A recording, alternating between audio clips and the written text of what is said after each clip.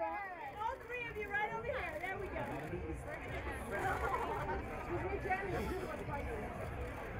And guys, all together in the center.